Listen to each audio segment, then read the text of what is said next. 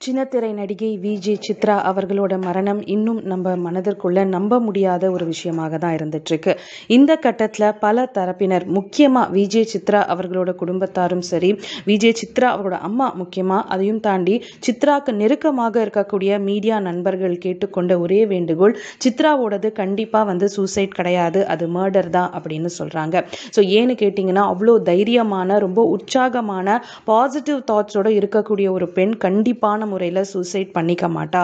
எந்த விதமான கஷ்ட கஷ்டங்கள் இருந்தாலுமே தன்னோட வாழ்க்கையில் ஜெயிச்சு இந்த நிலைமைக்கு வந்த சித்ரா கண்டிப்பாக வந்து சூசைட் பண்ணியிருக்க மாட்டா அப்படிங்கிற ஒரு சந்தேகம் தான் ஸோ இதே சந்தேகத்தை காவல் நிலையத்தில் புகாராகவும் பார்த்தீங்க அப்படின்னா சித்ரா அவரோட தந்தை காமராஜர் அவர்கள் கொடுத்துருக்காரு.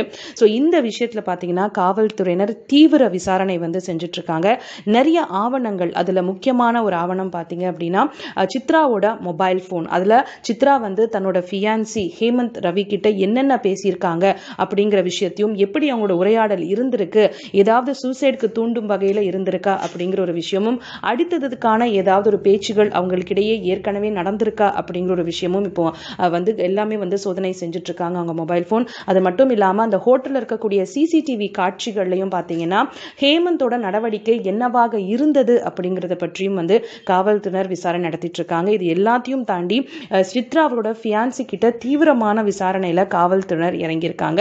ஸோ எல்லா ஆதாரங்களையும் சேகரித்து கண்டிப்பான முறையில் சித்ராவோட மரணத்தில் அவரோட ஃபியான்சி ஹேமந்த் ரவிக்கு மிகப்பெரிய ஒரு பங்கு இருக்கு அப்படின்னு தெரிய வந்ததுக்கு அப்புறம் அவர் வந்து கைதாகிறதுக்கான வாய்ப்புகளும் அதிகமாகவே இருக்கு அப்படிங்கிற ஒரு விஷயமும் சித்ராவோட நெருங்கிய வட்டாரம் வந்து தெரிவிக்கிறாங்க. ஸோ இந்த விஷயமானது சமூக வலைதளங்களில் மிகப்பெரிய தீயாகவும் பரவிட்டுருக்கு. ஸோ நீங்க என்ன நினைக்கிறீங்க? சித்ராவோட மரணத்திற்கு கண்டிப்பா அவரோட ஃபியான்சி ஹேமந்த் ரவி வந்து கண்டிப்பான முறையில் ஒரு காரணமாக இருப்பாரா? அவ்வளோ நல்ல பொண்ணு அவ்வளோ துருதுருப்பா இருக்கிற ஒரு பொண்ணு.